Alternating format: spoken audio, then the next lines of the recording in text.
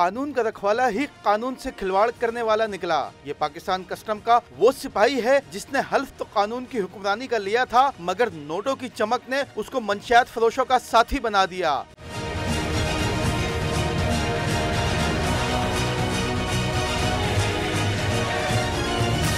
जी हाँ ये है इरफान उर्फ़ इरफान लाहौरी, जो माजी में अपने कारनामों की वजह से पूरे पाकिस्तान ही नहीं, दुनिया भर में पाकिस्तान की बदनामी का बाइस बन चुका है। मगर इतना बाअसर है कि हर बार इसको अहम मकाम पर पोस्टिंग मिल जाती है। अरबपति कस्टम के सिपाही की कहानी भी अजब करप्शन की गजब कहानी है। इरफान उर्फ़ इरफान लाहौरी की ताज़ा गिरफ्तारी ममनुआ अद्वियात की स्मगलिंग के केस में सामने आई है। Additional collector custom Karachi airport Asad लाड़क ने इरफान को रंगे हाथों गिरफ़्तार किया है। गिरफ़्तार कस्टम सिपाही पाकिस्तान में सबसे खतरनाक नशे, मेरी जवाना की सप्लाई करने वाले गुरु का सरगना भी समझा जाता है। इसके ग्रुप में कस्टम अफसरान समेत बीस ऐसी ज़्यादा अफराद का इंकशाफ हुआ है, जो की तमाम तर मामला को तय करते हैं।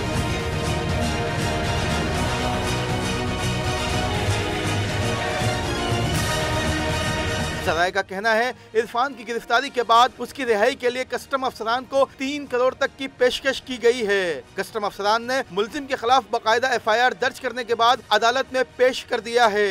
मुलजिम के कब्जे ऐसी मिलने वाली ममनू अशिया की मालियत कई करोड़ रूपए है। इस केस के हवाले ऐसी बाकायदा एक तीन रुकनी टीम भी बना दी गई है, जो की मेरी जमाना की खरीदो फरोख्त में मुलविस है, उनके खिलाफ कार्रवाई करेगी। कस्टम के गिरफ़्तार सिपाही इरफान लाहौरी के ताकतवर होने का अंदाज़ा इस बात ऐसी लगाया जा सकता सकता है कि माजी में एक कस्टम के माल खाने से 28 मन चर्च चोरी करके फरोख्त कर चुका है। इस केस में इसको बकायदा गिरफ़्तार करके बरतरफ भी किया गया था, मगर पैसे की चमक और ताकतवर लोगों से ताल्लुकात की बिना पर उसको खामोशी से दोबारा बहाल किया गया। बल्कि स्मगलिंग नेटवर्क के खिलाफ कार्रवाई करने वाले एक खसूसी सेल में तैनात कर दिया गया, जहाँ पर एक बार फिर इरफान लाहौरी ने गैर कानूनी कामों की ऐसी तारीख रकम की, जिसकी मिसाल नहीं मिलती।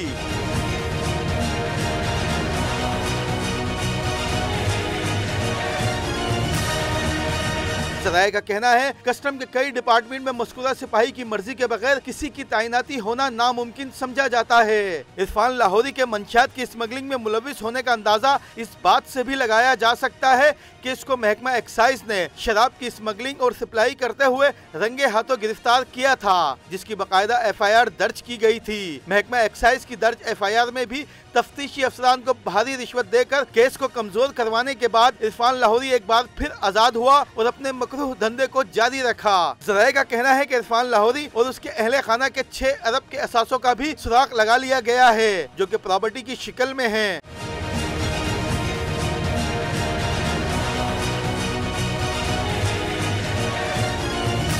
इरफान लाहौरी के मुतालिक एक खुफिया इदारे की रिपोर्ट में भी अहम तरीन इंकशाफात किए गए थे। एयरपोर्ट पर गिरफ्तारी के बाद से कस्टम अफसरान पर मुसलसल इरफान को रिहा करने और केस को कमज़ोर करने के लिए दबाव डाला गया है।